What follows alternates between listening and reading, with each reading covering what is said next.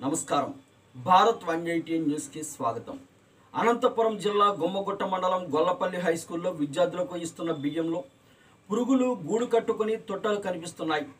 ఇవి తినడానికి పనికి వస్తాయని విద్యార్థుల తల్లిదండ్రులు అడుగుతుంటే ప్రభుత్వం ఇచ్చినవే తామిస్తున్నామని తినకపోతే పారేయండి అంటూ నిర్లక్ష్యంగా సమాధానం చెబుతున్నారనే ఆరోపణలు వినిపిస్తున్నాయి.